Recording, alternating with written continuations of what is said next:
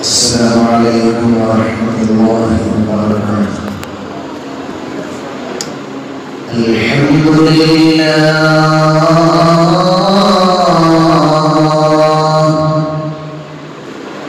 الحمد لله.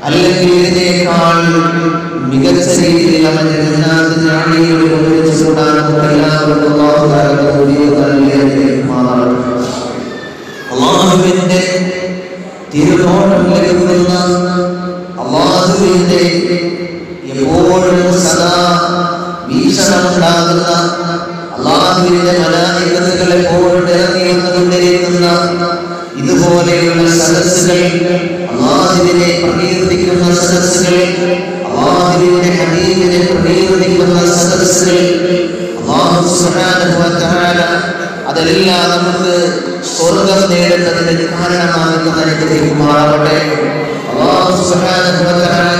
നമ്മളെ ഏവരെയും ഇതിനെ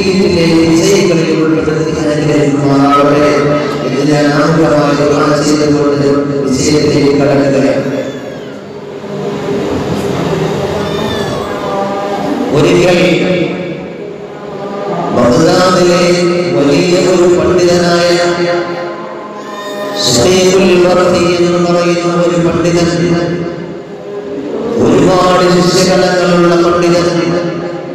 ആ പണ്ഡിതകളിൽ തന്റെ ഏറ്റവും അടുത്ത ശിഷ്യനായ തന്റെ കൂടെ നടത്തുമ്പോൾ മുതൽ ഒരുപാട് വർഷക്കാലം ഓതി പഠിച്ചതായ മുതലിനായ ഹാദമുല്ല പറയുന്ന ഒരു ശിഷ്യനെ വിളിച്ചുകൊണ്ട് ആ ആ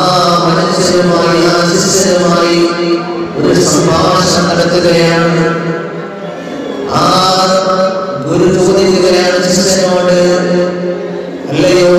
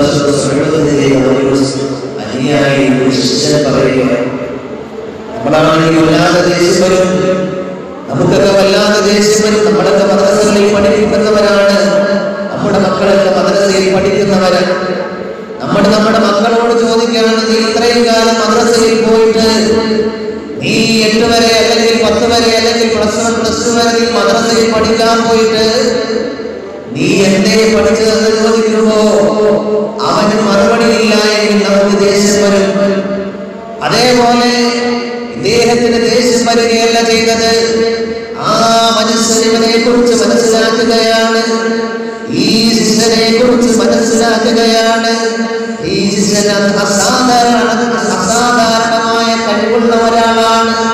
സാധാരണക്കാരനായ ആളല്ല എന്ന് മനസ്സിലാക്കുകയാണ്. അങ്ങനെ മനസ്സിലാക്കിയപ്പോ ദേഷ്യം പിടിക്കാതിരുന്നില്ല. ദേഷ്യം പിടിക്കാതിരുന്നില്ല. ആ ശിഷ്യനെ നോക്കിയിട്ട് ആ ഗുരു പറയുകയാണ്. നീ എനിക്ക് പറഞ്ഞതാ നീ പഠിച്ച എട്ട് കാര്യങ്ങൾ എട്ട് കാര്യങ്ങൾ.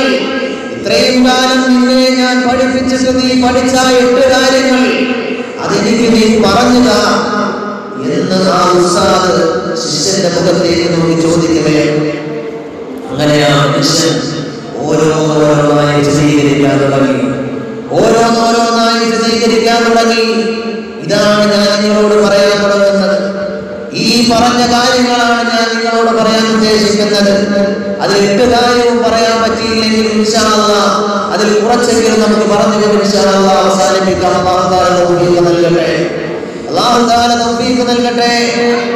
അങ്ങനെ നമ്മൾ ഈ പറയുന്ന ഏതെങ്കിലും ഒരു കാര്യമെങ്കിലും ഏതെങ്കിലും ഒരു കാര്യമെങ്കിലും ഇന്ന് വൈകുന്നേരം ഇന്ന് രാത്രി മുതൽ അല്ലെങ്കിൽ നാളെ സുബഹി മുതൽ നമ്മുടെ ജീവിതത്തിൽ പകർത്താൻ തയ്യാറായാൽ ബർഖിയുടെ ആ ശിഷ്യഗണം ആ ശിഷ്യൻ പഠിച്ച ആ ഇൽമു നമുക്ക് പഠിച്ചു എന്ന് പറയാൻ പറ്റും. അത് നമുക്ക് ജീവിതത്തിൽ പകർത്താൻ കഴിഞ്ഞാൽ ഹബീബായ മുഹമ്മദ് മുസ്തഫ സല്ലല്ലാഹു അലൈഹി വസല്ലമ തങ്ങളുടെ ചര്യ നമുക്ക് ജീവിതത്തിൽ പകർത്തി എന്ന് പറയാൻ പറ്റും. അതുകൊണ്ട് ഇൻഷാ അല്ലാഹ് ഇനി പറയുന്ന കാര്യങ്ങൾ ആ എട്ട് കാര്യങ്ങൾ ആ എട്ട് കാര്യങ്ങളിൽ ഒന്നെങ്കിലും നമ്മുടെ ജീവിതത്തിൽ പകർത്താൻ നമ്മൾ തയ്യാറാവണം നമുക്ക് പകർത്താൻ കഴിയണം. പകർത്തുക എന്ന ചിന്തയോടുകൂടി നമ്മൾ ഒന്നുകൂടി പറഞ്ഞു കാര്യം വളരെ ചുരുക്കിയാണ് പറയുന്നത്. സമയക്കുറവ് ഒന്നാമതായി പറയുകയാണ് ഒന്നാമതായി അദ്ദേഹം പറയുകയാണ് ഹാത്തമുല്ല സമ്മതന്റെ തന്റെ ഗുരുവിന്റെ മുഖത്ത് നോക്കി പറയുകയാണ് നളർത്തു ഇലാ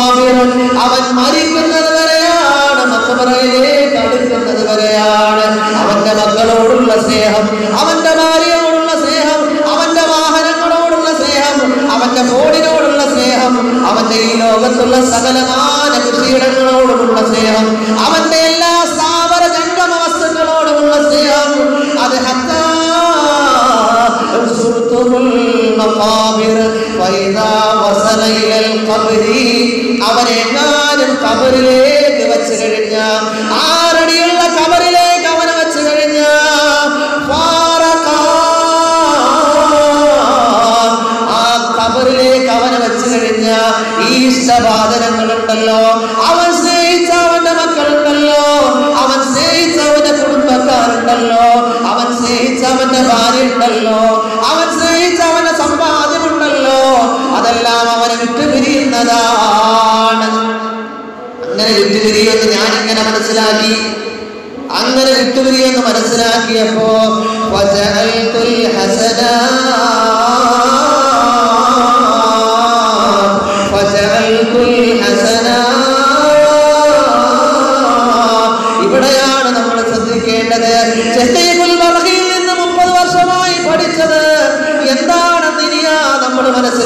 പഠിപ്പിക്കുന്നത് ആദമുല്ലസബ് പഠിച്ച ആ എട്ട് കാര്യങ്ങളിൽ ഒന്നാമത്തെ കാര്യമിത പറയുകയാ. നമ്മുടെ ജീവിതത്തിൽ പകർത്താനുള്ള കാര്യമിത ഒന്നാമത്തെ കാര്യം പറയുകയാ. അങ്ങനെ എല്ലാവരും കബറിലേക്ക് വെക്കുമ്പോ അവരുടെ ഇഷ്ടവാചനങ്ങൾ അങ്ങ് വിട്ടുപിരിഞ്ഞു പോകുമെന്ന് ചിന്തിച്ചപ്പോ എന്റെ നന്മകളുണ്ടല്ലോ നന്മകളുണ്ടല്ലോ. അതിനെ ഞാൻ മഹബൂബി. ദേശവാചനമാക്കി എന്റെ നന്മകളെ എന്റെ നിസ്കാരങ്ങളെ എന്റെ നോമ്പുകളെ എന്റെ സക്കാത്തുകളെ എന്റെ സൽക്കർമ്മങ്ങളെ അതുപോലെയുള്ള എല്ലാ നന്മകളെയും ഞാൻ എന്റെ ഇഷ്ടമാക്കി അതിനോട് കൂടുതൽ സ്നേഹമാക്കി. അങ്ങനെ വന്നപ്പോ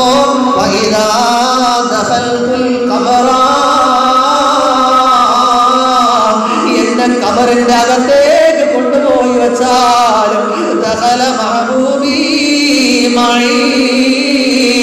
ആ മഹബൂബുണ്ടല്ലോ ആ ഹസനാത്ത് ഉണ്ടല്ലോ എന്റെ കബറിന്റെ അകത്തേക്ക് വരുമെന്ന് അള്ളാന്റെ റസൂൽ പഠിപ്പിച്ചിട്ടുണ്ടല്ലോ. അതുകൊണ്ട് ഞാൻ എന്റെ നന്മകളെ മുഴുവനും ആ നന്മകളെ മുഴുവനും സ്നേഹിക്കാൻ തുടങ്ങി അങ്ങനെയാ നന്മകളെ സ്നേഹിക്കാൻ തുടങ്ങിയപ്പോ അങ്ങനെയാ നന്മകളെ സ്നേഹിക്കാൻ തുടങ്ങിയപ്പോ ഈ ദുനിയാവിനോട് എനിക്ക് സ്നേഹമില്ലാതായി.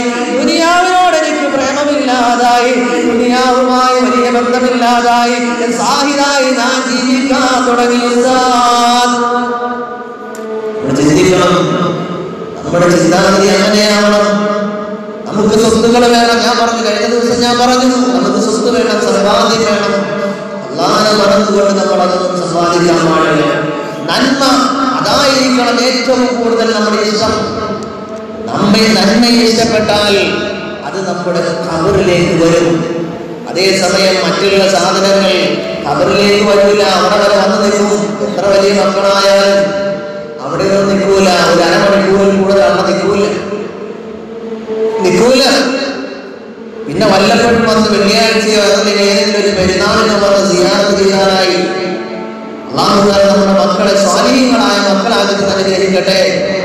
നമ്മുടെ അവരെങ്ങനെ വന്നിട്ടൊന്ന് യാസീനോട് അല്ലെങ്കിൽ ഒരു പാതിനോട് ദുആ ചെയ്യുന്ന മക്കളാക്കി അനുഗ്രഹിക്കട്ടെ അങ്ങനെയൊക്കെയുള്ള മക്കളാണ് നമുക്ക് വേണ്ടത്. അല്ലാതെ കുളിച്ച് സൂത്താടി കഞ്ചാവിന്റെയും അതുപോലെ ലഹരിയുടെയും അടിമകളാകുന്ന മക്കളല്ല നമുക്ക് വേണ്ടത്. അതിലേക്ക് ഞാൻ കടക്കുന്നില്ല.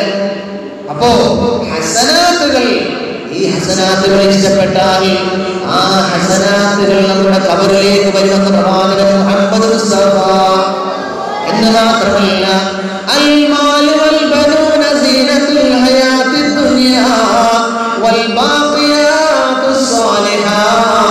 الصالحات എന്നെന്നും ബാക്കിയാകുന്ന അമലുകളുണ്ടല്ലോ എന്നെന്നും ബാക്കിയാകുന്ന അമലുകളുണ്ടല്ലോ എന്നെന്നും നമുക്ക് പ്രതിഫലം ലഭിച്ചുകൊണ്ടിരിക്കുന്ന അമലുകളുണ്ടല്ലോ എന്നെന്നും നമുക്ക് കബറിലേക്കാണെങ്കിലും പ്രതി- പ്രതിഫലം ലഭിച്ചുകൊണ്ടിരിക്കുന്ന അമലുണ്ടല്ലോ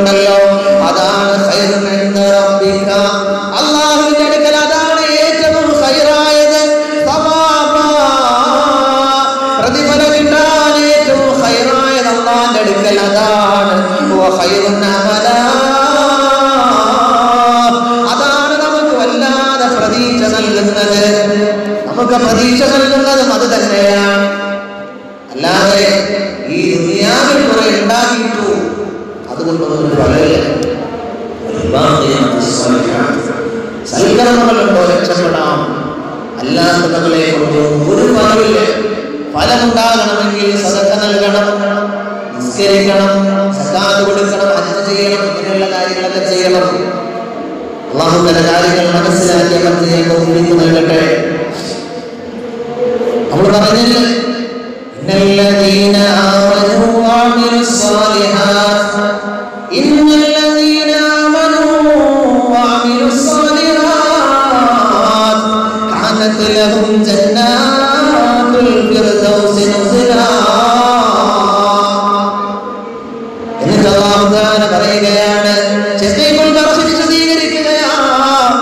ان الذي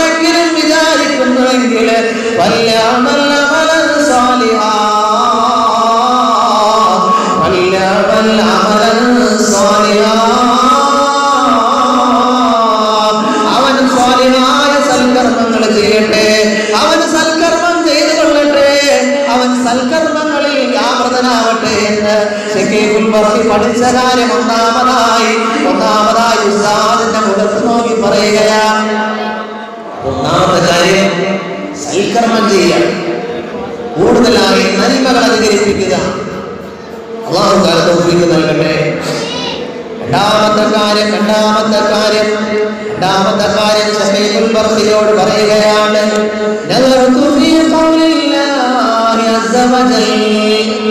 അള്ളാഹു കാല ഒരു ആയത്തിനെ കുറിച്ച് പരിശുദ്ധ ഖുർആനിൽ പറഞ്ഞു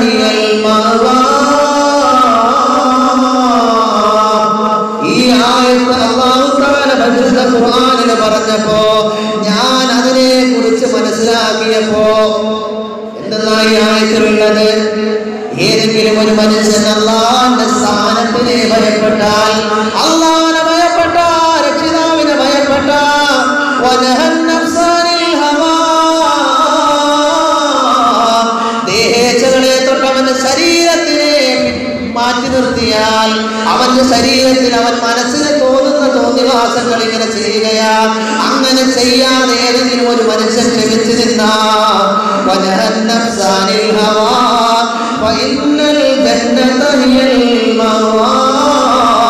അവന്റെ വാസസ്ഥാനം അത് സ്വർഗമാണ് സ്വർഗമാണ് അള്ളാനെ ഭയപ്പെടുകയും അതുപോലെ അവന്റെ ഹവയിൽ നിന്ന് അവന്റെ ശരീരേച്ഛയിൽ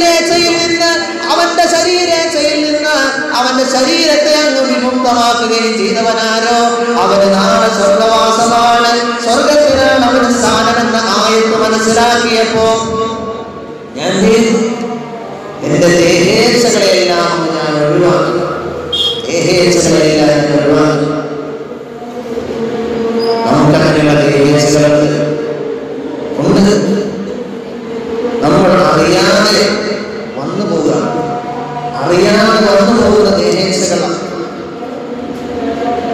അദ്ദേഹം ഇത് ഒഴിവാക്കിയെന്ന് പറയുമ്പോൾ ഈ ഒരു പ്രതിഫലം കിട്ടുന്നവരോട് വിചാരിച്ചാൽ ഒഴിവാക്കിയെന്ന് പറയുമ്പോൾ നമ്മൾ ചിന്തിച്ച് നോക്കണം നമ്മുടെ ദേഹേച്ഛകൾ എങ്ങനെ?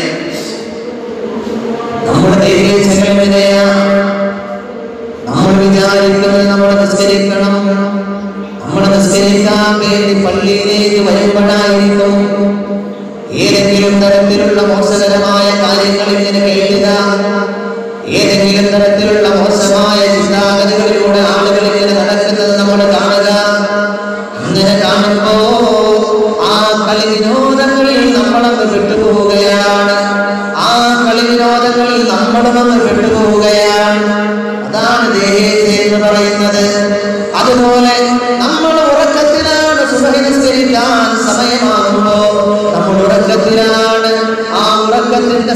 സമയത്ത് നമ്മൾ ചിന്തിക്കുകയാണ്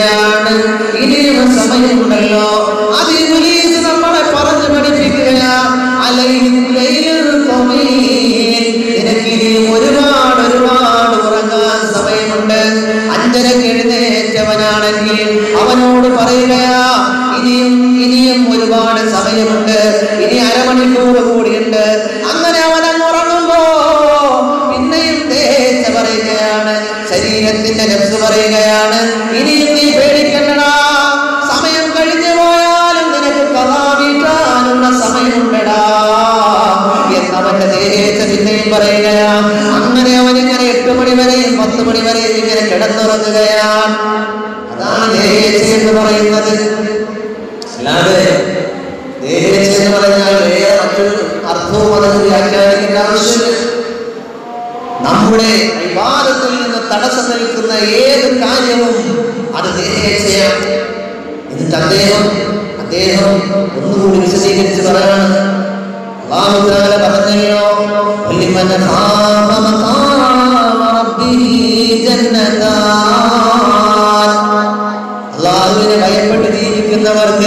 രണ്ട് അള്ളാഹു പറഞ്ഞിട്ടുണ്ടല്ലോ. അതുകൊണ്ട്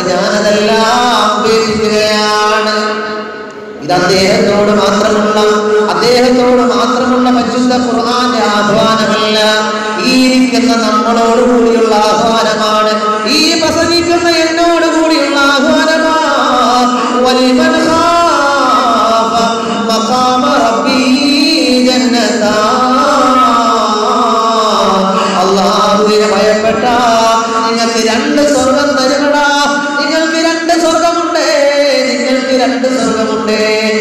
നമുക്ക് സ്വർഗം വേണോ? നമുക്ക് സ്വർഗം വേണോ? എന്നാൽ സ്വർഗത്തിലേക്ക് ചെയ്യേണ്ട ഒരേ ഒരു അമൽ അള്ളാനെ ഭയപ്പെടലാണ്. അള്ളാനെ ഭയപ്പെടലാണ്. അള്ളാഹുവിനെ ഭയപ്പെട്ടാൽ അവന് രണ്ട് സ്വർഗമുണ്ടെന്ന് പരിശുദ്ധ ഖുർആൻ. രണ്ട് സ്വർഗങ്ങളുമായി വെടിയുക അള്ളാഹുവിനെ ഭയപ്പെടുക ഒന്നാമതായി ഞാൻ പറഞ്ഞു ആദ്യത്തെ കാര്യം എന്തായിരുന്നു? ഒന്നാമത്തെ കാര്യം എന്തായിരുന്നു? നന്മകൾ ചെയ്യുക സൽക്കർമ്മങ്ങൾ അധികരിപ്പിക്കുക. രണ്ടാമത്തെ കാര്യം അള്ളാഹുവിനെ ഭയപ്പെടുക. ഞാൻ അവസാനം ചോദിക്കും എട്ട് കാര്യങ്ങൾ കൂടെ പറഞ്ഞു തരേണ്ടി വരും കേട്ടോ പറഞ്ഞു തരില്ലേ പായസം കുടിച്ചാൽ രസത്തിലിരിക്കണം ഇടയ്ക്കിടയ്ക്ക് ഓരോ ദിവസം പഠിച്ചു എന്നാലും കുഴപ്പമില്ല. ഉറങ്ങിപ്പോയത് ഓക്കെ. അപ്പോ ഒന്നാമതായി ഞാൻ പറഞ്ഞത് നന്മകൾ അധികരിപ്പിക്കുക രണ്ടാമതായി പറഞ്ഞത് അള്ളാഹുവിനെ ഭയപ്പെടുക. അള്ളാഹുവിനെ ഭയപ്പെട്ടുകൊണ്ട് ജീവിക്കുക. മൂന്നാമതായി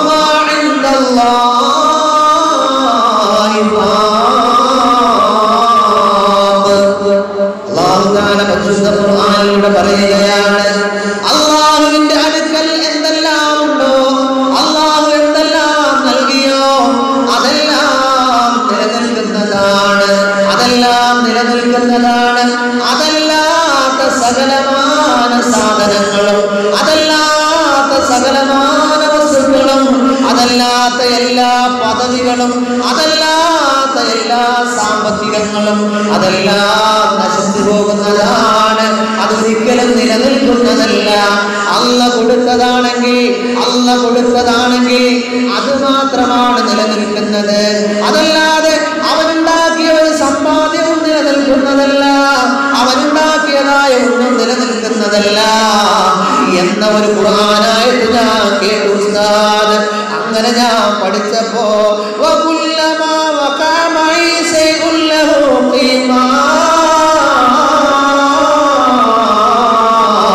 അങ്ങനെ ഞാനത് പഠിച്ചു കഴിഞ്ഞപ്പോ എന്ത് ചെയ്തെന്നറിയോ?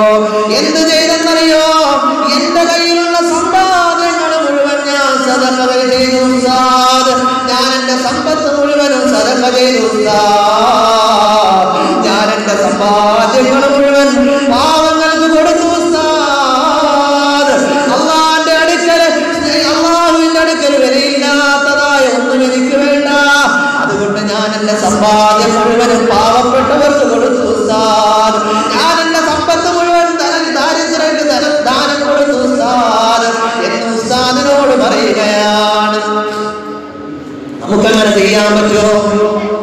നമ്മൾ എത്ര എത്രയോ ആയത്തുകൾ കാണുന്നവരാണ്.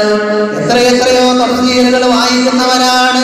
നമുക്കങ്ങനെ ചെയ്യാൻ പറ്റുമോ? നമുക്കങ്ങനെ ചെയ്യാൻ പറ്റുമോ? നമ്മുടെ സമ്പാദ്യങ്ങൾ നമുക്ക് സദക്ക ചെയ്യാൻ പറ്റുന്നുണ്ടോ? നമുക്ക് പറ്റുന്നുണ്ടോ? പാവപ്പെട്ടവന്റെ കയ്യിലേക്ക് ഒരു പത്ത് രൂപ വെച്ച് കൊടുക്കാൻ നമുക്ക് പറ്റുന്നുണ്ടോ? പിന്നെ എങ്ങനെയാ നമ്മുടെ സമ്പാദ്യങ്ങൾ കൊടുക്കുന്നത്? ഖദീജ ബിബി സഹോദരിമാരെ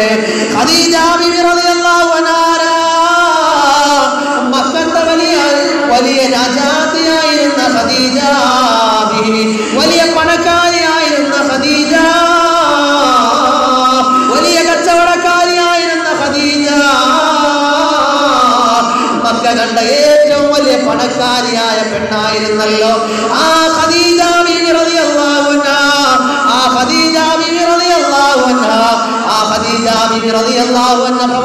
വിവാഹം ചെയ്യുമ്പോ അങ്ങനെ വിവാഹം ചെയ്തിട്ട് അവരിങ്ങനെ നടന്നു പോകുമ്പോ കഹബാലയത്തിന്റെ അരികിലൂടെ പ്രവാചകന്റെ കൂടെ ഇങ്ങനെ നടന്നു പോകുമ്പോ അബൂദഹലെല്ലാം അതുപോലെ ഉത്തുബത്തും ശൈബത്തുമെല്ലാം വിളിച്ചു പറയുകയാണ് എത്രയോ മോശപ്പെട്ടവനെയാണ് ഖദീജാക്ക് കിട്ടിയത്. ഖദീജ എത്രയോ സമ്പന്നയാണ്. നമ്മൾ എത്രയോ സമ്പന്നന്മാരാണ്. പോരാഞ്ഞിട്ടാണോ ഖദീജാക്ക് ഈ പാവപ്പെട്ടവനെ കിട്ടിയതെന്ന് പറയുമ്പോ ആ സമ്പത്താണ് ഇവർക്കിടയിൽ സംസാര വിഷയമെന്ന് മനസ്സിലാക്കിയിട്ട് എന്താ ചെയ്തതെന്നറിയോ? തന്റെ സമ്പത്ത് മുഴുവൻ തന്റെ ഭർത്താവായ മുഹമ്മദ് മുസ്തഫ തങ്ങളുടെ പേരിലേക്ക് എഴുതി കൊടുക്കുകയാണ്. തങ്ങൾക്ക് കൊടുക്കുകയാ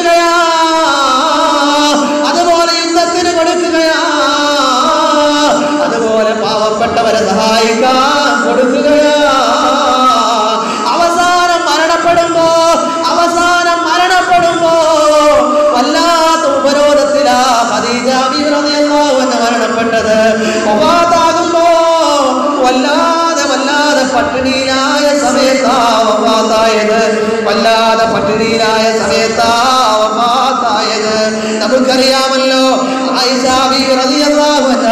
ഫാത്തിമ റളിയല്ലാഹു ഇവരുടെയൊക്കെ ചരിത്രം പറയുമ്പോൾ നമുക്കറിയാമല്ലോ അടുപ്പ് പുകയാത്ത ദിവസങ്ങൾ ഉണ്ടായിരുന്നുവെന്ന് റിപ്പോർട്ട് ചെയ്യുന്ന അതീതങ്ങൾ കാണാൻ കഴിയും. അടുപ്പ് പുകയാത്ത ദിവസങ്ങൾ അതീതാവിറിയല്ലാ ഫാത്തിമ ബീവിയും ആയിഷ ബീവിയും ഒന്നും ഭക്ഷണം കഴിക്കാത്ത ദിവസങ്ങൾ ഉണ്ടായിട്ടുണ്ടെന്ന് അള്ളാഹുവിന്റെ ഹബീബിന്റെ സഹാബത്ത് വിശദീകരിച്ച ഹദീസുകളുണ്ടല്ലോ. അങ്ങനെ സദക്ക ചെയ്യാ നമുക്ക് ആർക്കാ കഴിയുക? നമുക്ക് ആർക്കാ കഴിയുക സഹോദരന്മാരെ? അതുകൊണ്ട് ഒരാളെങ്കിലും ഒരാൾ എത്ര രൂപയാണ് വന്ന് ചോദിക്കുന്നതെങ്കിലും അവന്റെ മുഖത്തേക്കൊന്ന് പുഞ്ചിരിക്കാൻ നമുക്ക് കഴിയണേ നമുക്കൊന്ന് പുഞ്ചിരിക്കാൻ കഴിയണേ നമുക്കൊന്ന് പുഞ്ചിരിക്കാൻ കഴിയണേ.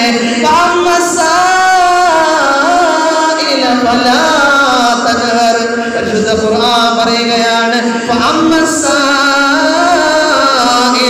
നിന്നോട് ചോദിച്ചു വരുന്നവനുണ്ടല്ലോ നിന്നോട് ചോദിച്ചു വരുന്നവനുണ്ടല്ലോ തൻഹർ.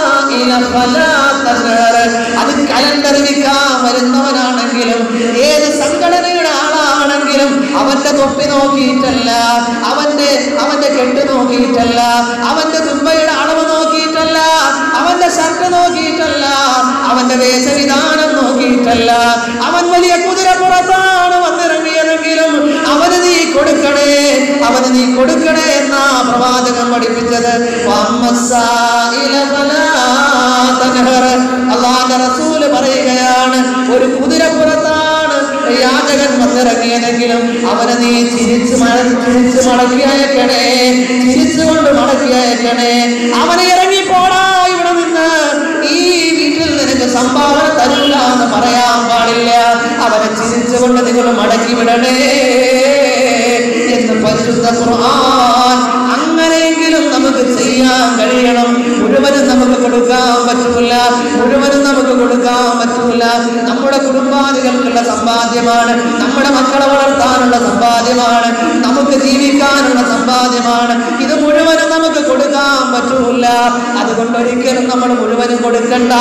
വരുന്നവർക്ക് ആവശ്യമുള്ളത് കൊടുക്കണേ. ഭക്ഷണം ചോദിച്ചു വന്നാൽ അവന് ഭക്ഷണം കൊടുക്കണേ. പണമാണ് ആവശ്യമെങ്കിൽ അത് പണമായിട്ട് കൊടുക്കണേ. ചിന്തിച്ചു നോക്കണം വിശുദ്ധ ഖുർആൻ പറയുകയാണ് വഅൻഫിഖൂ വഅൻഫിഖൂ മിമ്മാ റസഖനാകും. ശ്രദ്ധിക്കണേ ശ്രദ്ധിക്കണേ. വഅൻഫിഖൂ നിങ്ങൾ ചെലവഴിക്കണേ ചെലവഴിക്കണേ.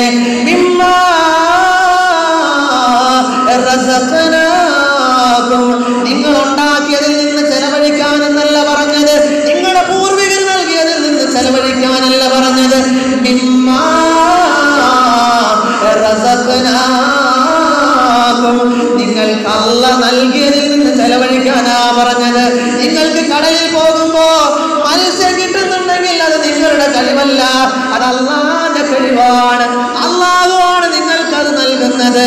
അവിടെ നിന്ന് നിങ്ങൾ ബിസിനസ് ചെയ്യുന്നുണ്ടെങ്കിൽ അത് നിങ്ങളുടെ കഴിവല്ല. അത് അള്ളാന്റെ കഴിവാണ്.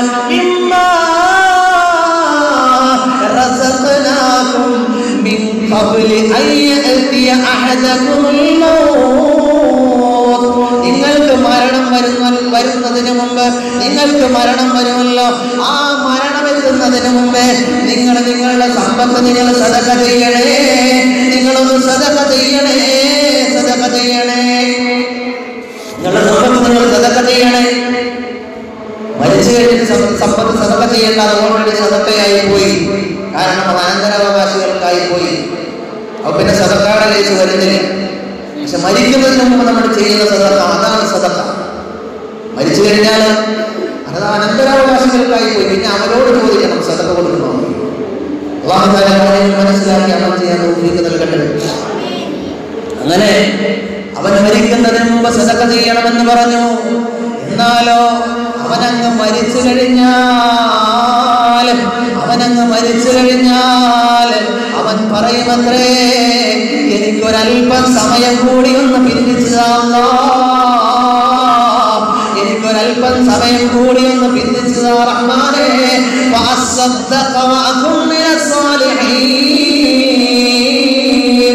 ഫഅസ്സദ്ദഖ ഞാൻ സദഖ ചെയ്തോളാം ഞാൻ സദഖ ചെയ്തോളാം. ഏതെല്ലാം മേഖലയിലാ സദഖ ചെയ്യാൻ പറഞ്ഞത്? അവിടെയൊക്കെ ഞാൻ സദഖ ചെയ്തോളാം.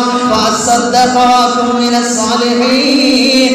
ഞാൻ നന്നായി ജീവിച്ചു കൊള്ളാമല്ലോ എന്നവൻ വിലപിച്ച് കരയുമെന്ന് ഖുർആൻ വലൻ യുഅഖിറല്ലാഹു നഫ്സൻ ഇദാ ജാ അജലുഹാ വല്ലാഹു ഖബീറും ബിമാ തഅമലൂൻ അവിടെ കിടന്ന് വിലപിച്ചിട്ട് കാര്യമില്ല. ഒരു മനുഷ്യന്റെ റൂഹ് പിടിക്കുന്ന സമയം വന്ന ഒരു സെക്കൻഡ് അങ്ങോട്ടും സദക ചെയ്യാൻ പറ്റൂല. ഒരു സെക്കൻഡ് ഇങ്ങോട്ടും സദക ചെയ്യാൻ പറ്റൂല. മാറ്റവുമില്ല ഒരൊറ്റപ്പെടുത്തം അവിടെ കിടന്ന് കാര്യമില്ല. അപ്പൊ അതിനു മുമ്പ് കപ്പല മരണം വരുന്നതിന് മുമ്പ്. മരണം ഹാജരാവുന്നതിന് മുമ്പ് നിങ്ങൾ എന്ത് ചെയ്യണം? സദക്ക ചെയ്യണം. അള്ളാഹു താല തൗഫീഖ് നൽകി നൽകട്ടെ. ഈ കാലഘട്ടത്തിലുള്ള ജനങ്ങൾ അള്ളാഹു മറ്റൊരു ഖുർആനായത്തിലൂടെ പറയുന്നുണ്ട് മറ്റൊരു സൂറത്തിലൂടെ പറയുന്നുണ്ട്. കാലഘട്ടത്തിലെ ജനങ്ങളുടെ ചില സ്വഭാവങ്ങളെ കുറിച്ച് പറയുകയാണ്.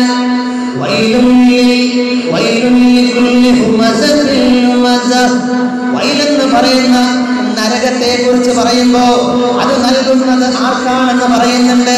അതിൽപ്പെട്ട ഒരു വിഭാഗമാരാണ് വൈലും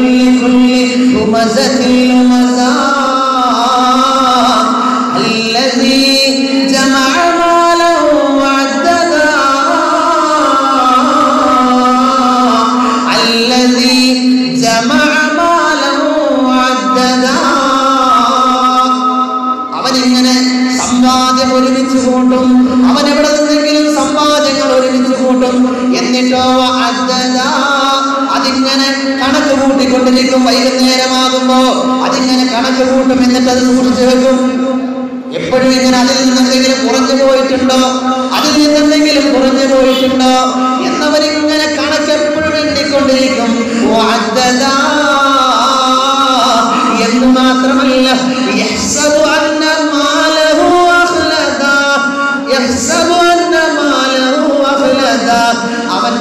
സമ്പാദ്യമുണ്ടല്ലോ. ആ സമ്പാദ്യം അവന് കാലാകാലം ജീവിക്കാനുള്ളതാണ് എന്നവൻ ചിന്തിക്കുകയും ചെയ്യും. എന്റെ എല്ലാ കാര്യങ്ങൾക്കും ഈ സമ്പാദ്യം മതി എന്നവൻ ചിന്തിക്കും.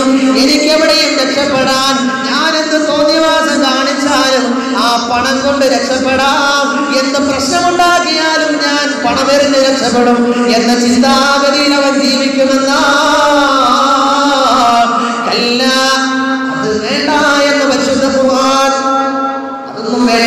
നിങ്ങളിങ്ങനെ പൈസ എണ്ണി സൂക്ഷിച്ചു വെച്ചിരിക്കുമൊന്നും വേണ്ട. അതിന്റെ ഒന്നും ആവശ്യമില്ല. അതുകൊണ്ട് അങ്ങനെ ഒരു വിഷയം വന്നപ്പോ അങ്ങനെ ഒരു വിഷയം വന്നപ്പോ ഞാൻ എന്ത് ചെയ്തു? എന്റെ സമ്പാദ്യങ്ങൾ മുഴുവൻ സദഫ ചെയ്തു. എന്റെ സമ്പാദ്യങ്ങൾ മുഴുവൻ ഈ ആയത്തുകളൊക്കെ കണ്ടു കഴിഞ്ഞപ്പോ ഞാൻ സദഫ ചെയ്തു. സദഫയുടെ പ്രതിഫലങ്ങളെ കുറിച്ച് കേട്ടപ്പോ ഇതൊക്കെ അള്ളാന്റെ മുന്നിൽ വിലയില്ലാത്തതാണ്. അള്ളാന്റെ മുന്നിൽ വിലയുള്ളത് സാധ്യമായ സൽക്കർമ്മങ്ങൾക്ക് മാത്രമാണ് മനസ്സിലാക്കുകയോ ഞാൻ എന്ത് ചെയ്തു? എന്റെ എല്ലാ സമ്പാദ്യങ്ങളും സതക്ക ചെയ്തു എന്ന് ഹാത്തമുള്ള പറഞ്ഞു എന്ന് പറയുന്ന തന്റെ ഗുരുവിന്റെ മുഖത്ത് നോക്കി പറയും നാലാമതായി അദ്ദേഹം പറയാണ് നാലാമതായി നാലാമതായി അദ്ദേഹം തന്റെ ശിഷ്യന്മാർ ഗുരുവിനോട് പറയാണ് ഇന്ത്യയെ ഞാൻ സൃഷ്ടികളിലേക്ക് വീണ്ടും നോക്കി. സൃഷ്ടിജാലങ്ങളിലേക്ക് നോക്കി.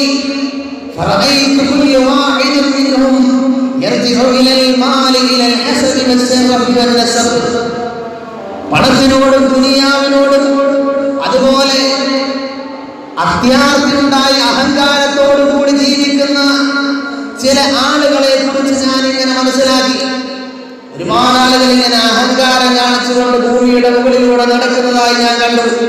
ഒരുപാട് ആളുകൾ ഒരുപാട് ആളുകൾ ഇങ്ങനെ അഹങ്കാരം കാണിച്ച് എനിക്ക് ഒരുപാട് സമ്പാദ്യമുണ്ടെന്നെല്ലാം പറഞ്ഞുകൊണ്ട് അഹങ്കാരം കാണിച്ച് ഇങ്ങനെ നടക്കുന്നത് കണ്ടപ്പോ ഞാൻ എനിക്ക് വലിയ സമ്പാദ്യമുണ്ട്. ഞാൻ ഈ നാട്ടിലെ പ്രമാണിയാണ്. ഞാൻ വലിയ ജോലിക്കാരനാണ്. അല്ലെങ്കിൽ എന്റെ സമ്പാദ്യം വല്ലാത്ത സമ്പാദ്യമാണ്. എനിക്ക് ഒരുപാട് ഒരുപാട് വാഹനങ്ങളുണ്ട്. ഇതെല്ലാം ജനങ്ങളെ ഇങ്ങനെ മനസ്സിലാക്കി അതിൽ അഹങ്കരിച്ച് ഇങ്ങനെ നടക്കുന്നത് കണ്ടപ്പോ ഞാൻ പോയി. പോയപ്പോ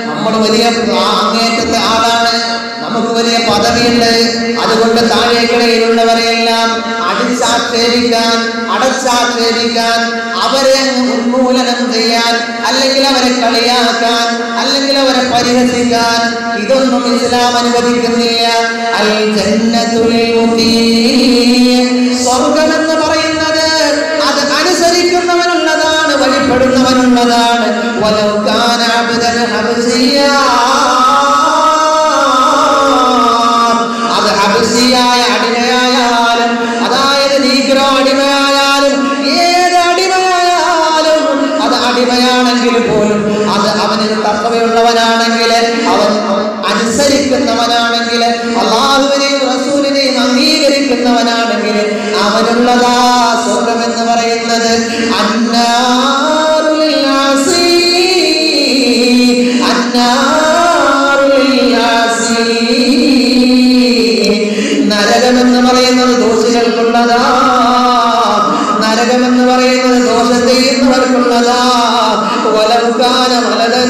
Maria.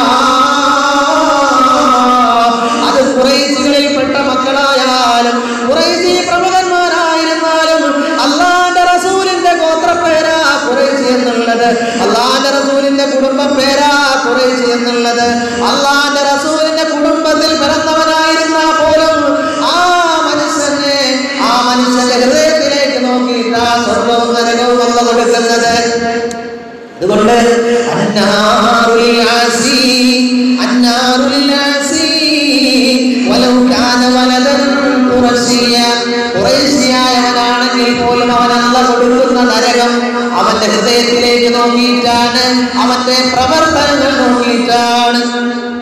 അതുകൊണ്ട് അതുകൊണ്ട് എന്റെ ജീവിതം എന്റെ ജീവിതം ഞാൻ എങ്ങനെയുള്ളതാക്കിയെന്നറിയുമോ സാദ്? എന്റെ ജീവിതം വല്ലാതെ വിനയമുള്ളതാക്കി തീർത്തു സാദ്. ഞാൻ വിനയമുള്ളതാക്കി തീർത്തു വിനയമുള്ളതാക്കി തീർത്തു നോക്കണം ഈ കാലഘട്ടത്തിലെ കാലഘട്ടത്തിൽ തത്വമേല നിശ്ചിതമായ ജീവിതമില്ലാത്തത് കൊണ്ടാണ് മുസ്ലിമീങ്ങൾ പരസ്പരം ആക്രമിക്കുന്നത്. അല്ലെങ്കിൽ മുസ്ലിമീങ്ങളെ ആക്രമിക്കപ്പെടുന്നതിന് കാരണം ഈ മുസ്ലിമീങ്ങൾ തത്വമില്ല ഇഫലാസില്ല മറ്റുള്ളവനെ ചവിട്ടി താഴ്ത്താൻ വേണ്ടി മറ്റുള്ളവനെതിരിൽ പ്രവർത്തിക്കാൻ വേണ്ടി ആരായിരുന്നാലും അവനെ ചവിട്ടി തേക്കണം അല്ലെങ്കിൽ അവനെ ഉന്മൂലനം ചെയ്യണം എന്ന രീതിയിലാണ് അവന് ജീവിതം ദുരിയാവിന് വേണ്ടി ഉഴിഞ്ഞു വെച്ചപ്പോ അതാണ് അവർക്കുള്ള നാശമെന്ന പ്രവാചകൻ മുഹമ്മദ് മുസ്തഫ.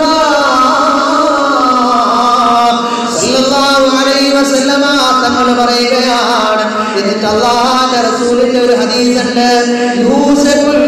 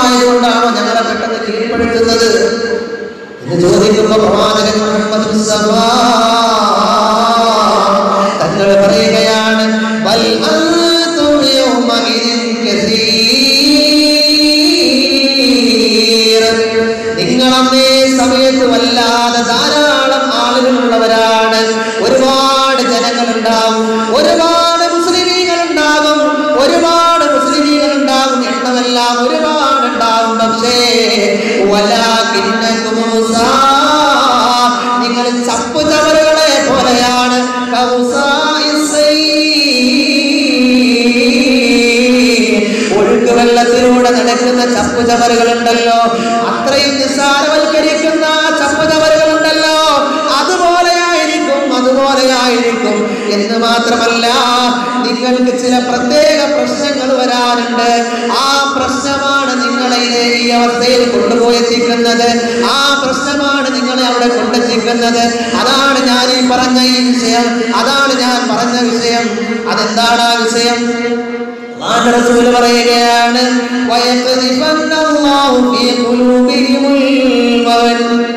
വഹൻ വഹൻ എന്ന് പറയുന്ന ഒരവസ്ഥ നിങ്ങളെ പിടികൂടും. വഹൻ എന്ന് പറയുന്ന ഒരവസ്ഥ നിങ്ങളെ പിടികൂടും അപ്പൊ സഹാബത്ത് റസൂലല്ലാഹ്? വഹൻ എന്താണ് വഹൻ ചോദിക്കുമ്പോ ഞങ്ങളെ നശിപ്പിച്ചു കളയുന്ന ഞങ്ങളെ അവസാന നാളാകുമ്പോ മുസ്ലിമീങ്ങളെ നശിപ്പിച്ചു കളയുന്ന നബിയേ?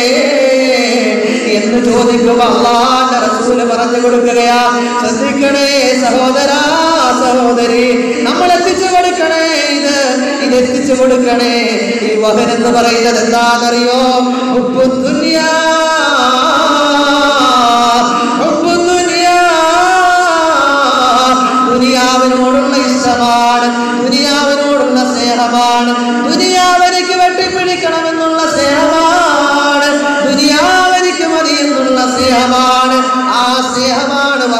പറയുന്നത്.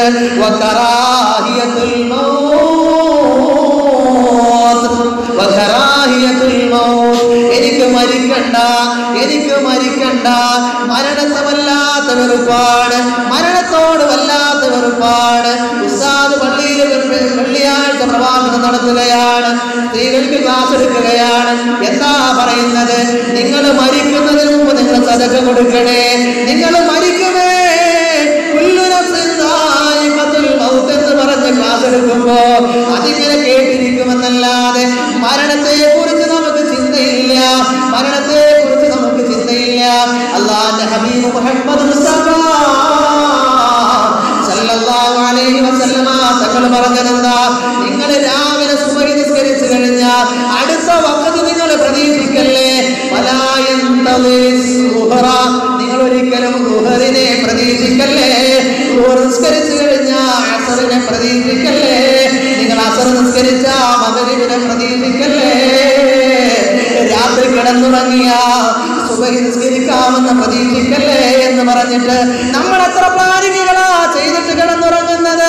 രാത്രി കിടന്നുറങ്ങുമ്പോ രാവിലെ ചെയ്യാനുള്ളത് മുതൽ ഒരാഴ്ച കഴിഞ്ഞ് ചെയ്യാനുള്ളത് മുതൽ ഒരു മാസം കഴിഞ്ഞ് ചെയ്യാനുള്ളത് മുതൽ ഒരു വർഷം കഴിഞ്ഞ് ചെയ്യാനുള്ളത് മുതൽ എത്ര എത്രയോ പ്ലാനിങ്ങുകളാ നമ്മൾ ചെയ്യുന്നത്? എന്തേ? നമുക്ക് മരണത്തെ കുറിച്ച് ചിന്തയില്ല. ഒരു ഇൻഷാ അല്ലാ എന്ന് പറയാൻ പോലും നമുക്ക് പറ്റുന്നില്ല എങ്കിൽ നമ്മൾ മരണത്തെ വല്ലാതെ വെറുക്കുന്നവരാണ്. നമ്മൾ വല്ലാത്ത മരണത്തെ വെറുക്കുന്നവരാണ്. മരണത്തെ വെറുത്ത ഓട്ടോമാറ്റിക്കായി ദുനിയാ ദുനിയാവിനോടുള്ള സ്നേഹം അവരിലേക്ക് കടന്നു വരുന്നതാണ്. ദുനിയാവിനോടുള്ള സ്നേഹം കടന്നു വരുന്നതാ. അങ്ങനെ കടന്നു വന്ന അങ്ങനെ കടന്നു വന്ന ആ വഹനാണ് നമ്മൾ നശിപ്പിച്ച് കളയുന്നത്. ആ വഹനാണ് നമ്മൾ നശിപ്പിച്ച് കളയുന്നത്. അങ്ങനെ നശിപ്പിച്ച് കളഞ്ഞാൽ അത് ഉത്തരവാദി നമ്മൾ തന്നെയാണ്. അവസാന നാളിൽ വരുന്ന വഹനിന്റെ ഉത്തരവാദി നമ്മൾ തന്നെയാണ്. നമുക്കുണ്ടാവുന്ന പ്രശ്നത്തിന്റെ പ്രതിസന്ധിയുടെ ഉത്തരവാദികൾ നമ്മൾ തന്നെയാണ്. അതുകൊണ്ട് ആ വിഷയം നമ്മൾ ശ്രദ്ധിക്കണം. ഒരാളെ ഇകഴ്ത്താൻ പോകണ്ട. ഒരാളെ ഇടിച്ചു താഴ്ത്താൻ പോകണ്ട. അള്ളാഹുവിനെ സ്മരിച്ചുകൊണ്ട് അള്ളാഹുവിന് തത്വമുള്ളവരായി ജീവിക്കുക. അള്ളാഹുവിന് തത്വമുള്ളവരായി ജീവിക്കുക. അങ്ങനെ ജീവിച്ചാൽ ആ മനുഷ്യന് അള്ളാഹു താല നൽകും. അള്ളാഹു താല നൽകുന്നത് സ്വർഗമായിരിക്കും അതാണ് കാത്തമുള്ള പഠിച്ച അടുത്ത കാര്യം. എന്നിട്ട് അദ്ദേഹം കുറെ ആ ഹദീസുകൾ പറഞ്ഞു കേൾക്കുകയാണ് എന്താണ്? ആ സമയത്ത് ഒരു മനുഷ്യൻ ജീവിച്ചിരിക്കുകയാണെങ്കിൽ അവസാന കാലഘട്ടത്തിൽ ഇങ്ങനെ ഒരു അവസ്ഥ വരുമ്പോ നമ്മളിൽപ്പെട്ട ആരെങ്കിലുമൊക്കെ ജീവിച്ചിട്ടുണ്ടെങ്കിൽ അവർ വിചാരിക്കുമത്രേ അവർ പറയുമത്രേ പള്ളിക്കാടിലെ മക്കബറകൾ ചൂണ്ടിക്കാണിച്ച് അവർ പറയുമത്രേ ഈ കിടക്കുന്ന കബറിന്റെ അകത്ത് കിടക്കുന്ന ആൾ ഈ ലോകത്ത് സംഭവിച്ചു കൊണ്ടിരിക്കുന്ന നരനായാട്ട് കാണാൻ എനിക്ക് വയ്യ. ഇവിടെ നടക്കുന്ന പ്രശ്നങ്ങൾ കാണാൻ എനിക്ക് വയ്യ. ഒരല്പമെങ്കിലും ഈമാനുള്ള മനുഷ്യനാണെങ്കിൽ അവൻ പറയുമത്രേ പള്ളിക്കാട്ടിലെ കബറിടത്തിലേക്ക് ചൂണ്ടിയിട്ട് മത്തുപറകളിലേക്ക് ചൂണ്ടിയിട്ട് അവൻ പറയുമത്രേ ആ മണ്ണിനടിയിലായിരുന്നു ഞാനെങ്കിൽ ഇതൊന്നും എനിക്ക് കാണേണ്ടി വരില്ലായിരുന്നല്ലോ എന്ന് പറയുമെന്ന് പ്രവാചകൻ മുഹമ്മദ് നിസ്സാരമായ കാര്യമില്ല. അവസാന സമയമാകുമ്പോ ഒരല്പമെങ്കിലും ഈമാനുള്ളവൻ പിന്നെ ഈമാനെ കൊണ്ട് പറയുന്നുണ്ട് തീക്കട്ടയിൽ പിടിച്ചവനെ പോലെ ആയിരിക്കുമെന്ന് പറയും ഞാൻ വിശദീകരിക്കുന്നില്ല. ഒന്നും ഞാൻ വിശദീകരിക്കുന്നില്ല. അതുകൊണ്ട് തക്കവയിൽ അധിഷ്ഠിതമായ ജീവിതമായിരിക്കണം. നിസ്കരിക്കുമ്പോഴായിരുന്നാലും ഏത് സമയത്തായിരുന്നാലും തക്കവ വേണം തക്കവ വേണം. ആദ്യമായി അള്ളാഹുവിന്റെ ചോദ്യം നടക്കുന്ന ഒരവസ്ഥ പറയുന്നുണ്ട്. മനുഷ്യറിയിൽ ചെല്ലുമ്പോ ചോദ്യം ചെയ്യപ്പെടുന്ന ഓരോരുത്തരെയും വിചാരണയ്ക്ക് വേണ്ടി കൊണ്ടുവരപ്പെടുന്ന ഒരവസ്ഥകൾ പറയുന്നുണ്ട്. എന്താണ് അവസ്ഥ?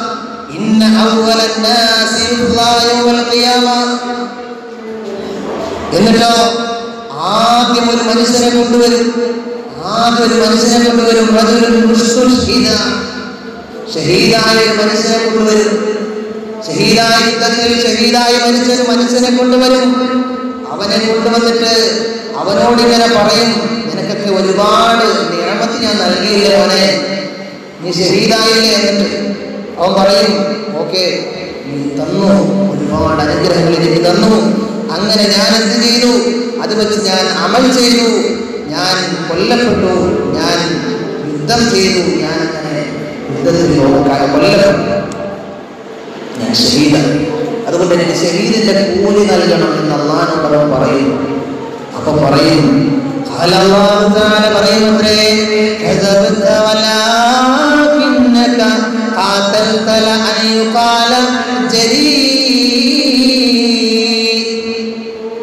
നീ നീ നീ ഒരു വലിയ തോന്നാൻ നീ ഒരു വലിയ ധീരനാണെന്ന് ജനങ്ങൾ മനസ്സിലാക്കണം. അതിനു വേണ്ടിയിട്ടല്ലേ നീ യുദ്ധത്തിന് പോയത് എന്നവരോട് ചോദിക്കുമ്പോ എന്നിട്ടോ തുമ്മ ഉമിറ ബിഹി ഫസുഹിബ അലാ ഹത്താ ഉൽഖിയ ഫിന്നാർ. ആ മനുഷ്യന്റെ തത്വമില്ലാത്തതിന്റെ പേരിൽ അള്ളാഹുവിനേക്ക് ഇബാദത്ത് തരിപ്പിക്കാത്തതിന്റെ പേരിൽ ആ മനുഷ്യനെ മുഖം കുത്തി അങ്ങിട്ടിട്ട് അവനെ ആ പടി വലിച്ചു കൊണ്ടുപോയി നരകത്തിലേക്ക് കൊണ്ടുപോയിടുന്നതാണെന്ന് പ്രവാചകൻ മുഹമ്മദ് മുസ്തഫ. എന്തുകൊണ്ടാ ഈമാനോട് കൂടിയല്ല അവനത് ചെയ്തത്? അള്ളാഹുവിന്റെ കൂടിയല്ല അവനത് ചെയ്തത്. രണ്ടാമതായ ഒരു മനുഷ്യൻ വരും. രണ്ടാമതായ ഒരു മനുഷ്യൻ വരും.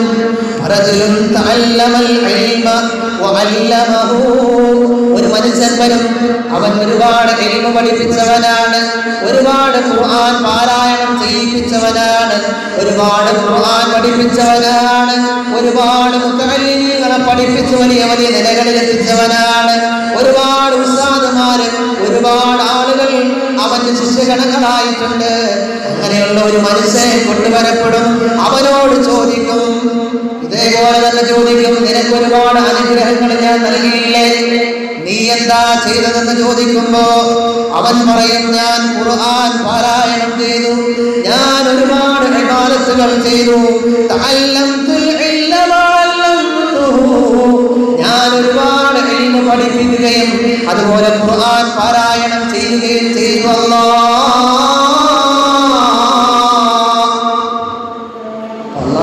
പറയുന്നു കഥകത്താണ് നീ കളവ് പറഞ്ഞു നീ ഇതിനു വേണ്ടിയിട്ടാണ് അതൊക്കെ ചെയ്തത്. ഞാൻ വലിയ കാര്യമാണെന്ന് പറയാൻ വേണ്ടിയിട്ടല്ലേ? ഞാൻ വലിയ പ്രവാചകനാണെന്ന് പറയാൻ വേണ്ടിയിട്ടല്ലേ? ഞാൻ വലിയ ഖുർആൻ പാരായണം ചെയ്യുന്നവനാ. ഞാനാണ് വലിയ അധ്യാപകൻ എന്ന് പറയാൻ വേണ്ടിയിട്ടല്ലേ? അതിന് വേണ്ടിയിട്ടല്ലേ നീ പണികളെല്ലാം ചെയ്തത്? ഞാൻ വലിയ സംഘടനക്കാരനാണെന്ന് പറയാൻ വേണ്ടിയിട്ടല്ലേ നീ പ്രവാചനങ്ങൾ നടത്തിയത്? ഞാൻ വലിയ ആളാണ് ഞാൻ വലിയ പദവിയിലുള്ള അറിയിക്കാൻ വേണ്ടിയല്ലേ ഇതെല്ലാം ചെയ്തത് എന്നല്ലാഹു താര തിരിച്ചു ചോദിക്കുമ്പോ അവന് മറുപടിയില്ല. അതേപോലെ അവനെ ആ മറ്റേ ആളെ കൊണ്ടുപോയതുപോലെ ആദ്യം ശരീരായ ആളെ കൊണ്ടുപോയതുപോലെ മുഖം കുത്തപ്പെട്ട നിലയിൽ പിന്നെ അവനെ വലിച്ചുകൊണ്ട് അവനെ വലിച്ചുകൊണ്ട് നരകത്തിലേക്ക് കൊണ്ടുപോവുകയാണ്. മൂന്നാമതായി മൂന്നാമതായ ഒരു മനുഷ്യൻ വരും. മൂന്നാമതായി ഒരു മനുഷ്യൻ വരും. അവൻ നിസ്കാരക്കാരനാണ് അവൻ നിസ്കാരക്കാരനാണെന്ന ചിന്താഗതിയോടുകൂടി വരുന്നവനാണ്. ഞാൻ വല്ലാത്ത നിസ്കാരക്കാരനാ വലിയ നിസ്കാരക്കാരനാണെന്നുള്ള ചിന്താഗതിയോടുകൂടിയാണ് അവൻ വരുന്നത്. അവന്റെ നിസ്കാരങ്ങളും അവന്റെ എല്ലാ സൽക്കർമ്മങ്ങളും ഇങ്ങനെ തട്ടിലേക്ക് വെക്കും. എന്നിട്ട് അള്ളാഹാന്റെ മുന്നിൽ നിൽക്കുമ്പോ അള്ള ചോദിക്കും മോനെ നീ എന്തൊക്കെയാണ് ഞാൻ തന്ന അനുഗ്രഹങ്ങൾ കൊണ്ട് ചെയ്തത്? എന്ന് ചോദിക്കുമ്പോ അവൻ പറയും ഞാൻ ചെയ്തത് നിസ്കാരങ്ങൾ നിർവഹിച്ചു അല്ലോ ഞാൻ നിനക്ക് വേണ്ടി ഒരുപാട് സുന്നത്ത് നിസ്കരിച്ചു അല്ലാ ഞാൻ നിനക്ക് വേണ്ടി ഒരുപാട് ഫർദുകൾ നിസ്കരിച്ചു അല്ലാ ഞാൻ രാത്രിയും പകലിലുമായി ഒരുപാട് നോമ്പുകൾ നോച്ചു അല്ലാ അങ്ങനെ അവൻ പറയുമ്പോ അവനോടല്ല പറയുന്ന മറുപടി നീ വല്ലാതെ കളവ് പറയുന്നവനാണല്ലോ. നീ കളവ് പറഞ്ഞിരിക്കുന്നു. നീ കളവ് പറഞ്ഞിരിക്കുന്നു.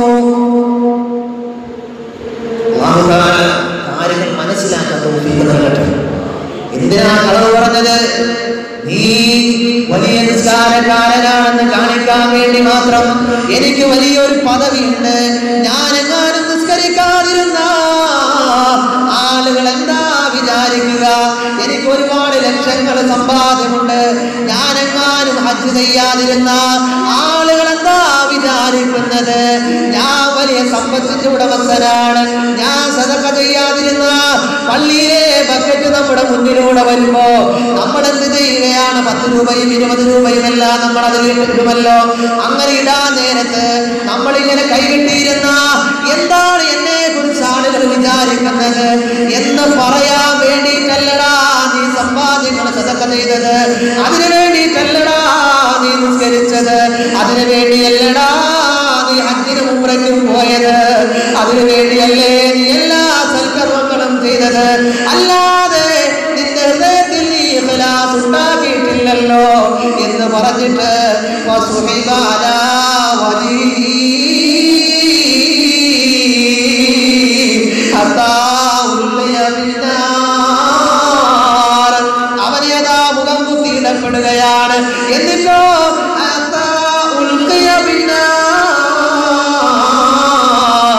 അവനെ നരകത്തിലേക്ക് വലിച്ചിഴച്ച്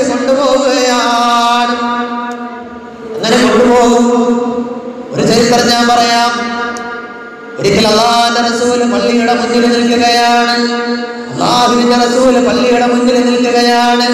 പള്ളിയുടെ മുന്നിൽ ഇങ്ങനെ നിൽക്കുമ്പോ പള്ളിക്കകത്ത് പള്ളിക്കകത്തേക്ക് ഒരാൾ കടന്നു വരികയാണ്. കടന്നു വന്ന ആൾ ഇബിലീസാണ് ഇബിലീസാണ്. അത്ഭുതത്തോടു കൂടി ഇബ്ലീസിനോട് ചോദിച്ചു മാതാ തസ്നഉനാ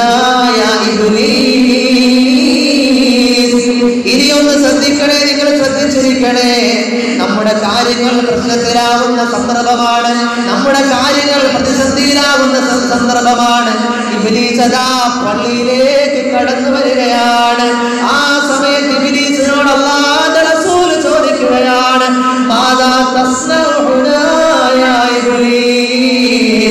എന്താ ഇബിലീസേ നീ ഇവിടെ ചെയ്യുന്നത്? നീ എന്താണ് ഇവിടെ ചെയ്യുന്നത്? പള്ളിയിലേക്ക്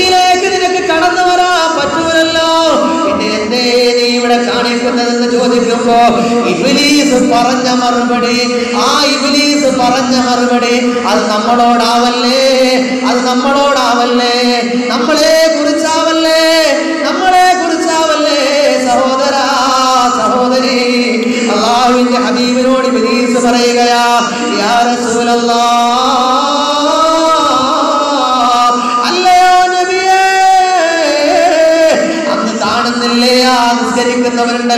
ആ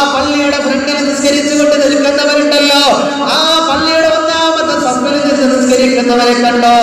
ആ നിസ്കരിക്കുന്നവന്റെ നിസ്കാരമുണ്ടല്ലോ. ആ നിസ്കാരം പാത്തിലാക്കാൻ ശ്രമിക്കുകയാണ് നബിയേ ഞാൻ. ആ നിസ്കരിക്കുന്നവന്റെ നിസ്കാരം പാത്തിലാക്കാൻ ശ്രമിക്കുകയാണ് നബിയേ. അതിനു വേണ്ടിയാ ഞാൻ ഇവിടെ വന്നത്. അള്ളാന്റെ റസൂൽ അത്ഭുതത്തോടു കൂടി തിരിച്ചു ചോദിക്കുകയാണ് അല്ലയോ ഇബിലീസേ അവൻ അള്ളാഹുമായി മുനാജാത്ത് നടത്തുകയാണെന്നുള്ള കാര്യം നിനക്കറിയാമല്ലോ. അള്ളാഹുവിന്റെ നിനക്കറിയാമല്ലോ അള്ളാഹുവിന്റെ ദിക്കറിലായി കഴിഞ്ഞു കൂടുകയാണെന്ന് നിനക്കറിയാമല്ലോ. ഇനി നീ ആ ഉറങ്ങി കിടക്കുന്നവനെ കാണുന്നില്ലേ ഇബിലീസ് ആ പള്ളിയുടെ അകത്ത് എഴുതിക്കാമെന്ന് നീയത്ത് വെച്ചുകൊണ്ട് ഒരു മനുഷ്യൻ ഉറങ്ങി കിടക്കുന്നത് കാണുന്നില്ല ഇബ്ലീസ് ആ മനുഷ്യനെയല്ലേ നിനക്ക് ഏറ്റവും അധികം ശല്യപ്പെടുത്താൻ കഴിയുന്നത്? അവന്റെ ഉറക്കമല്ലേ ഇബ്ലീസ് നിനക്ക് വസ്വാസിനാക്കാൻ പറ്റുന്നത് ചോദിക്കുമ്പോ ആ ഇബ്ലീസ് പറഞ്ഞ ശ്രദ്ധിക്കണേ ഒന്ന് ശ്രദ്ധിക്കണേ അള്ളാന്റെ റസൂലിനോട് പറയുകയാ ആ നിസ്കരിക്കുന്നവരുണ്ടല്ലോ ആ നിസ്കരിക്കുന്നവന്റെ നിസ്കാരം വല്ലാതെ നഷ്ടത്തിലാണ്. അവന്റെ നിസ്കാരത്തിൽ ഇഹ്ലാസില്ല അവന്റെ നിസ്കാരത്തിൽ തത്വയില്ല അവൻ ആളുകളെ കാണിക്കാൻ വേണ്ടി നിസ്കരിക്കുന്നവനാണ്. അവന്റെ നിസ്കാരത്തിൽ വല്ലാത്ത പിഴവുകളാണ്. അവൻ നിസ്കരിക്കാമെന്ന് നിൽക്കുമ്പോൾ മുതൽ അവന്റെ വീട്ടിലെ കാര്യങ്ങളാണ് അവൻ ചിന്തിക്കുന്നത്. അവൻ നിസ്കരിക്കുമ്പോൾ അള്ളാനെ ചിന്തിക്കുന്നില്ല അവന്റെ ജീവിത ചര്യകളെ കുറിച്ചാണ് അവൻ ചിന്തിക്കുന്നത്. ജീവിത വിഭവങ്ങളെ കുറിച്ചാണ് ചിന്തിക്കുന്നത്. അവൻ കടലിൽ പോകുന്നതിനെ കുറിച്ചാണ് ചിന്തിക്കുന്നത്. കടലിൽ തിരമാലകളുണ്ടോ എന്നാണ് അവൻ ചിന്തിക്കുന്നത്. അവന്റെ ബോട്ടിനെ കുറിച്ചാണ് അവൻ ചിന്തിക്കുന്നത്. അവന്റെ എല്ലാ ജീവിത വിഭവങ്ങളും നഷ്ടപ്പെട്ടു പോകുമോ എന്നാണ് അവൻ ചിന്തിക്കുന്നത്. നിസ്കാരത്തിൽ അല്ല എന്ന ചിന്തയില്ല.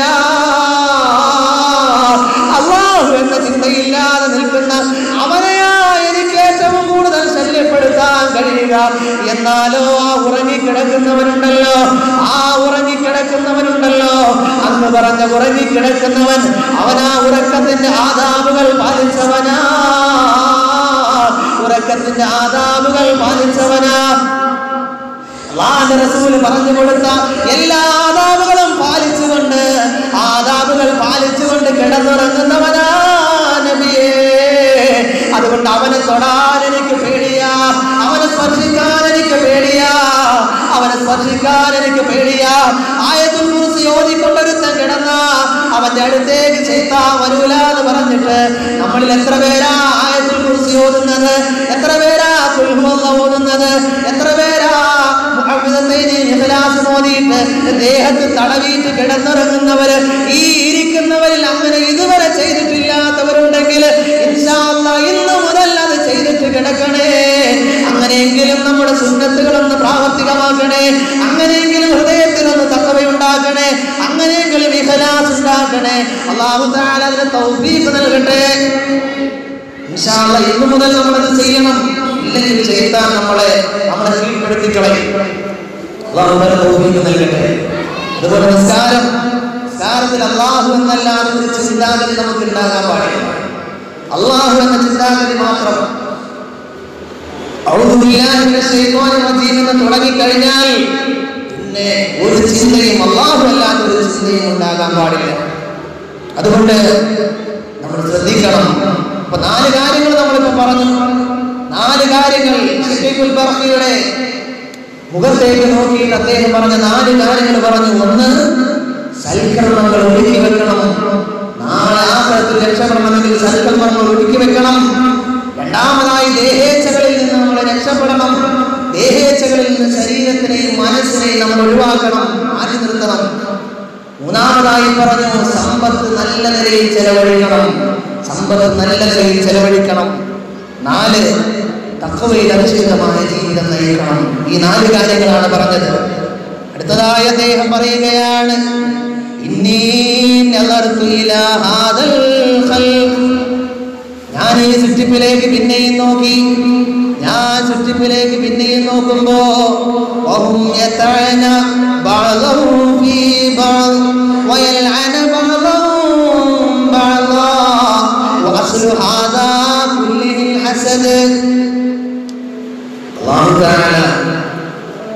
പറഞ്ഞ ഒരു ഞാൻ ശ്രദ്ധിക്കുന്നതിന് മുമ്പ് ജനങ്ങളിലേക്ക് ഇങ്ങനെ നോക്കി. ജനങ്ങളിലേക്ക് നോക്കുമ്പോ അവർ ചില ആളുകളെ ഇങ്ങനെ ശപിക്കുകയാണ്. ചില ആളുകളെ ശപിച്ചുകൊണ്ടിരിക്കുകയാണ്. ചില ആളുകളെ അസൂയ വെച്ചുകൊണ്ടിരിക്കുകയാണ്. ഇതൊക്കെ ഞാൻ ഇങ്ങനെ കണ്ടപ്പോ അസൂയയെ കുറിച്ച് ഞാൻ മനസ്സിലാക്കിയപ്പോ അള്ളാഹുവിന്റെ പരിശുദ്ധ ഞാൻ മടങ്ങി. എന്തിനാ അസൂയ വെക്കുന്നത്? എന്തിനാ ഒരാളെ ശപിക്കുന്നത്? രണ്ട് കാര്യത്തിനാണ് അള്ളാഹുവിന്റെ ഹബീബ് അസൂയ വയ്ക്കാമെന്ന് പറഞ്ഞത്. ഒന്ന് സമ്പാദ്യം. നല്ല നിലയിൽ ചിലവഴിച്ചുകൊണ്ടിരിക്കുന്ന ഒരാളെ കാണുമ്പോൾ അള്ളാഹു എനിക്ക് ഇത്രയും സമ്പാദ്യം ഉണ്ടായിരുന്നെങ്കിൽ ഞാൻ നിന്റെ മാർഗത്തിൽ സമ്പാദ്യം ചെലവഴിക്കുമായിരുന്നു എന്ന് അസൂയയോടുകൂടി പറയാം.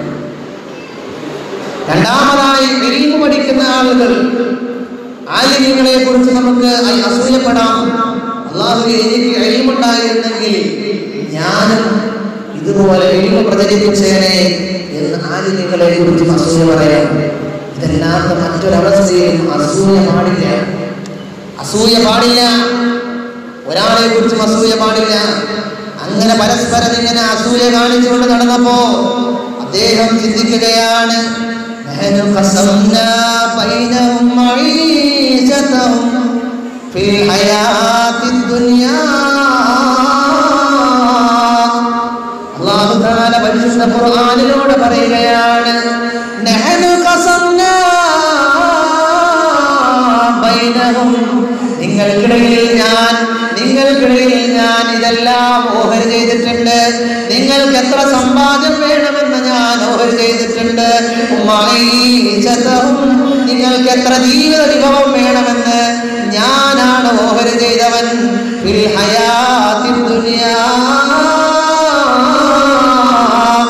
ഈ ദുനിയാവിൽ ജീവിക്കാൻ ആവശ്യമായ ഓഹരി അത് എത്ര വേണമെന്ന് ക്ലിപ്തമാക്കി ഞാൻ തന്നിട്ടുണ്ട്. അതിൽ കൂടുതൽ നിങ്ങൾക്ക് കിട്ടൂല അതുകൊണ്ട് നിങ്ങൾ ഒന്നും ചെയ്യേണ്ട അസൂയ വേണ്ട. ഇങ്ങനെയുള്ള ആയത്തിനെ കേട്ടപ്പോ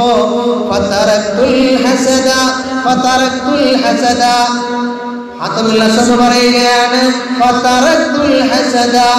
ഞാൻ അസൂയയെ വെടിഞ്ഞു. എന്റെ ഹൃദയത്തിൽ നിന്ന് അസൂയയെ എടുത്തു കളഞ്ഞു. ഞാൻ സൃഷ്ടികളിലേക്ക് പിന്നെ നോക്കാതായി. പിന്നെ ഞാൻ നോക്കാതായി. ജനങ്ങളിൽ നിന്ന് ഒറ്റപ്പെട്ട് ജീവിക്കാൻ തുടങ്ങി. ജനങ്ങളിലേക്ക് ഞാൻ പോകാതെയായി. എന്നിട്ടോ അലിന്തു ഞാൻ അറിഞ്ഞു അന്നൽ അള്ളാഹുവാണ് ഇതെല്ലാം ഓഹരി ചെയ്യുന്നവൻ അള്ളാഹുവാണിതെല്ലാം ഓഹരി ചെയ്യുന്നവൻ അതുകൊണ്ട് തന്നെ ഒരസൂയയും കാണിച്ചിട്ട് കാര്യമില്ല. ഒരസൂയയും ഒരു മനുഷ്യനെ കുറിച്ചും കാണിച്ചിട്ട് കാര്യമില്ല. അതുകൊണ്ട് ഒരസൂയ കാണിച്ചാലും ഒരുത്തന്റെയും സമ്പാദ്യമല്ല കുറയ്ക്കൂല എന്ന് അള്ളാഹു താല പറഞ്ഞതുകൊണ്ട് ഞാൻ എന്റെ അസൂയെ ഒഴിവാക്കി. ഞാൻ അസൂയെ ഒഴിവാക്കി. എന്ന് ഹാത്തമുല്ല തന്റെ ശിഷ്യൻ ഉസ്താദിന്റെ മുഖത്ത് നോക്കി പറയാം. ഒരൊറ്റ ആയത്തിൽ കൂടി പറഞ്ഞുകൊണ്ട് അവസാനിപ്പിക്കാം. നമുക്കറിയാമല്ലോ യൂസഫിന്റെ പേര് ഇസ്ലാം. അദ്ദേഹത്തിന്റെ പേരിൽ അസൂയപ്പെട്ടത് ആരാ? സ്വന്തം സഹോദരങ്ങളാണ് സ്വന്തം കുടുംബാദികളാണ്. ആവിയിലും പാവിയിലും അവർ തമ്മിലുള്ള അസൂയ ഉണ്ടായതിന്റെ പേരില്ല അതും കുടുംബാദികൾ തമ്മിലാണ് അസൂയ ഉണ്ടാവുന്ന സ്വന്തം കുടുംബക്കാരിൽ നിന്നുണ്ടാവാം. അങ്ങനെയൊക്കെ ഉണ്ടാകുമ്പോ നമ്മൾ അവരെ മാറ്റി നിർത്തുകയോ അവരല്ലെങ്കിൽ അവരെ അവർ വലിയ അസൂയക്കാരാണ് അവരോട് പറയണ്ട എന്തെല്ലാം പറഞ്ഞുകൊണ്ട് നമ്മളിങ്ങനെ പറയുക. അതൊന്നും നമ്മൾ മൈൻഡ് ചെയ്യണ്ട. നിന്റെ സമ്പാദ്യം എത്ര വലുതാണടാ എന്ന് ഒരാൾ നമ്മുടെ മുഖത്ത് നോക്കി പറഞ്ഞാൽ അവരോട് പറയേണ്ടത് അള്ളാഹു താല നിന്റെ നാവിൽ നിന്നും നിന്റെ കണ്ണിൽ നിന്നും അള്ളാഹു താല എന്നെയും എന്റെ കുടുംബത്തെ കാക്കട്ടെ എന്ന് മനസ്സിലൊന്ന് പറഞ്ഞേക്കുക. അല്ലാതെ അവന്റെ മുഖത്തേക്ക് നോക്കി നേരിട്ട് പറയേണ്ട ആവശ്യമില്ല. എന്ന ഒരൊറ്റ വാചകം മാത്രം പറഞ്ഞുകൊണ്ട് എന്ത് ചെയ്യണം? അവനെ മടക്കി വിടുക. അല്ലാതെ നീ കണ്ണുവച്ചത് കൊണ്ടാണ് എന്റെ സമ്പാദ്യം മുഴുവൻ നശിച്ചു പോയത്. നിന്റെ കണ്ണീർ തട്ടിയത് കൊണ്ടാണ് എന്റെ എല്ലാ സമ്പത്തും നശിച്ചു പോയത് എന്ന് പറഞ്ഞുകൊണ്ട് അവനുമായി ശത്രുതയിൽ ഏർപ്പെടാൻ നിൽക്കേണ്ടതില്ല കാരണം അള്ളാഹുവാണ് ഇത് കണക്കാക്കിയത്. അള്ളാഹു കണക്കാക്കിയ സമയത്ത് അത് കൃത്യമായി നമുക്ക് ലഭിക്കും. അള്ളാഹു താല അത് വേണ്ട എന്ന് വെക്കുന്ന സമയത്ത് അത് നമ്മിൽ നിന്ന് നഷ്ടപ്പെടുകയും ചെയ്യും. അതിൽ യാതൊരു ഉത്തരവാദിത്വവുമില്ല. പക്ഷേ കണ്ണേർ സത്യമാണ്. ആ കണ്ണേർ വരുമ്പോ എന്ന വാചകം നിങ്ങൾ പറയണമെന്ന പ്രവാചകൻ പഠിപ്പിച്ചു തരികയാണ് അതുകൊണ്ട് നാം ആ കാര്യം മനസ്സിലാക്കണം. നമ്മൾ ആ കാര്യം മനസ്സിലാക്കണം. ഇതെല്ലാം മനസ്സിലാക്കി വിവാദത്ത് ചെയ്താൽ മാത്രമേ നമ്മളിൽ നിന്ന് ഇബാദത്ത് സ്വീകരിക്കുകയുള്ളൂ. അള്ളാഹു സ്വീകരിക്കുമാറാവട്ടെ. കാരണം അള്ളാഹുവിന്റെ സഹാബത്തിന്റെ ഏറ്റവും വലിയ ഏറ്റവും വലിയ ലക്ഷണങ്ങളിൽ ഒന്നായിരുന്നു പ്രവാചകൻ പറഞ്ഞ കാര്യങ്ങൾ അതുപോലെ തന്നെ അനുധാവനം ചെയ്യുക എന്നുള്ളത്. അതേപോലെ തന്നെ അനുധാവനം ചെയ്യുക എന്നുള്ളത്. പ്രവാചകൻ ഇരുന്ന സ്ഥലത്ത് പോയി ഇരിക്കുക. പ്രവാചകൻ എന്തെല്ലാം പഠിപ്പിച്ചോ അതെല്ലാം കൃത്യമായി ചെയ്യുക. ഇതായിരുന്നു സഹാബത്തിന്റെ ചിന്താഗതി. എന്നാൽ ഒരു സഹാബി ഒരു സഹാബി ഒരിക്കൽ ഹബീബിന്റെ അടുക്കലേക്ക് ഓടി വരികയാണ് നമ്മുടെ ഒരു അവസ്ഥയുണ്ടല്ലോ. നമ്മൾ മത പരിപാടികളിൽ ഇങ്ങനെ പങ്കെടുക്കും. ഞാനിപ്പോൾ ഇത്രയും പറഞ്ഞ കാര്യങ്ങൾ നിങ്ങൾ കേട്ടു. നിങ്ങൾക്ക് ഞാനത് പറഞ്ഞപ്പോൾ മനസ്സിലായി.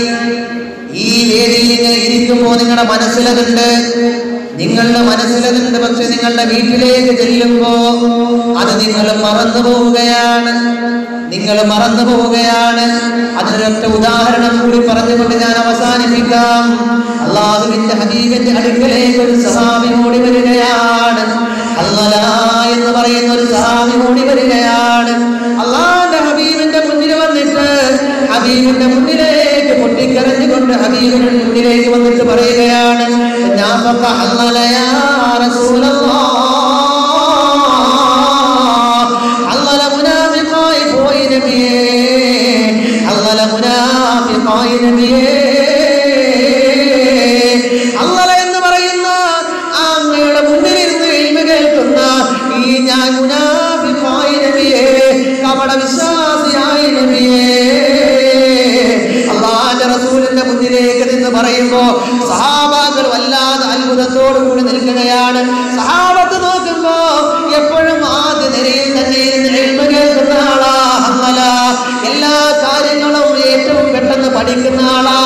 ഹമ്മല പറയുന്നു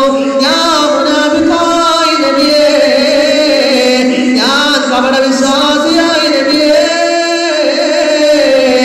എന്താ റസൂൽ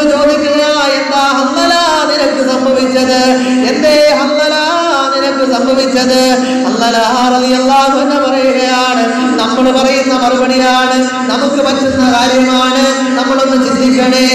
അള്ളാന്റെ റസൂലിനോട് ഹമ്മല പറയുകയാ അങ്ങയുടെ മുന്നിൽ നിന്ന് ഞങ്ങൾ എൽമ കേൾക്കുമ്പോ പ്രവാചകന്മാരുടെ മുന്നിൽ നിന്ന് നമ്മൾ എൽമ കേൾക്കുമ്പോ നരകത്തെ കുറിച്ച് പറയുമല്ല നബിയേ. നരകത്തെ കുറിച്ച് ആ നരകം കൺമുന്നിൽ കാണുന്നത് പോലെയാ. സ്വർഗത്തെ കുറിച്ച് പറയുമ്പോ അങ്ങ് സ്വർഗത്തെ കുറിച്ച് പറയുമ്പോ ആ സ്വർഗം ഞങ്ങളുടെ മുന്നിൽ കാണുന്നത് പോലെയാ കുറിച്ച് പറയുമ്പോ അതുപോലെ ഔദുൽ കൗസറിനെ കുറിച്ച് പറയുമ്പോ അതെല്ലാം ഞങ്ങളുടെ മുന്നിൽ കാണുന്നത് പോലെയാ